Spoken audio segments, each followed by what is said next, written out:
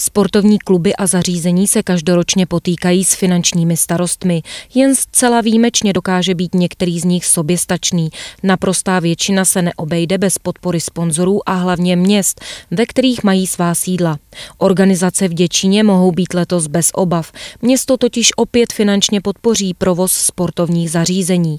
Není divu, většina se stará i o rozvoj mládeže a svých elévů. A tak například provozovatel fotbalového stadionu a sportovního areálu Máchovka, klub FK Junior Děčín dostane 100 tisíc korun. Hokejisté klubu HC Děčín získají na zimní stadion 6,5 milionů korun a klub BK Děčín, který se stará o sportovní halu v Maroldově ulici, obdrží 2,65 milionů korun.